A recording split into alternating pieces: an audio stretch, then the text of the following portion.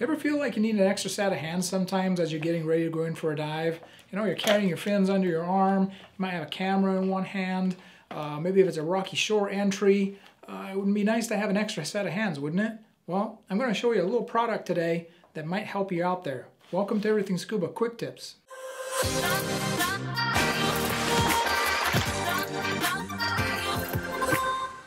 Hey guys, welcome to Everything Scuba Quick Tips Edition.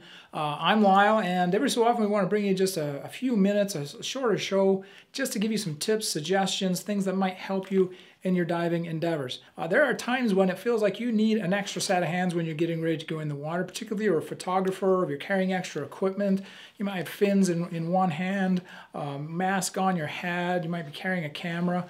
And so I've been using product for a couple of years that has really helped me uh, have an extra set of hands and, and makes my life easier both getting in and out of the water. I'm going to introduce you to a little carabiner. This is made by a company called HeroClip. And this is unlike most other carabiners that we might use uh, to give us an extra set of hands. I like to use this because it's a little bit of a, of a larger size that will accommodate clipping my fins and mask if necessary into the uh, size of this clip. And so quick little demonstration. I'm going to take this clip. I'm just going to use my D-ring here, clip it onto that bad boy. And so as I'm getting ready to get in the water, I'm just going to have this clipped off to me, turned in such a manner that all I got to do is slip my fin on, slip my other fin on, And hey presto, I don't have to carry my fins. I could even clip my mask in there also if I, I needed to. I know you can buy fin carriers. There are companies out there that uh, produce products that are, you know, especially designed for this. Tend to be a little bit more expensive. This guy, uh, I think retails for about $20. This is the medium size Hero Clip. I'm going to drop links down below so you can go check those out.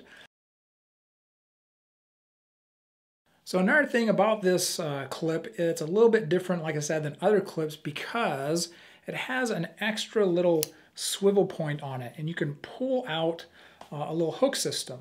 So this works well too for uh, at the end of the dive. I can leave my fins hung on here. I can, I can hang them up. Or weirdly enough, I've been on some dives where uh, I'm at my safety stop, and Josh and I recently did a, a, show all about how to do a safety stop like a pro. If you haven't seen that, click that link up above. And with this little hook, you can see it's got this, uh, if I can get it in the camera shot there, it's got this nice little rubberized tip. And so there's been times when at my safety stop, if I'm in some current and I'm having to fight to stay in place, the boat is right above me, um, then I can actually use this on the mooring line or on the ship's anchor line and just wrap it around it and hang on. And so uh, decreases the amount of energy I have to use to stay in place. Uh, as we know, we don't want to hang onto the mooring line, particularly with bare hands.